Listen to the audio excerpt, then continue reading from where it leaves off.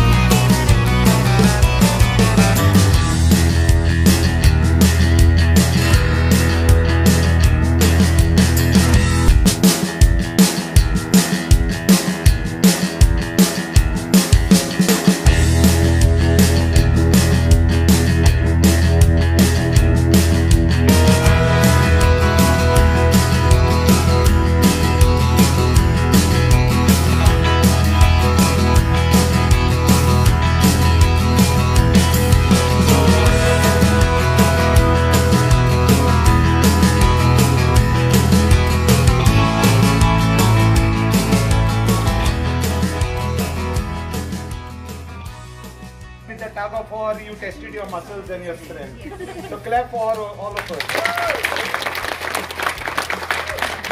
Now we follow with the next event, but I think a bigger clap for the primary teachers. I think main what we said, our motive is what? Unity. And the more unity we'll show, the fathers, the mind will get more motivated to take us for a picnic. Sheila, you get that side, we'll get this side, and we motivate fathers that we. It was really nice event that had happened today. The tug of war, the dog and the bone. What I witnessed was a Copernican revolution, I would say. it was really a Copernican revolution. The difference and the comeback of it is hats off to y'all. And as Father Martin has rightly said, we, you know, what we learned from that, how the negativity we put down and we encourage each other, take the positivity, the positivity with vibes, the positive vibes. A lot of uh, good values that we learned today, encouraging each other. Lovely. Thank you so much, teachers. Uh, a lot of things we have learned from you. Encouraging, motivating each other, uh, strengthening the bonds, coordinating. And Sir Anthony, I was so happy, you know, he was making everything so lively. Sir Anthony and Sir Dorino. That's what they know, yeah. I, have, I have never heard them like this. That's what he said. I have so many years over, but today I found that, that liveliness and all, no, they were coming forward so much. Okay, and everything happened because of the initiative of Father Avinash. Okay, hats off. I.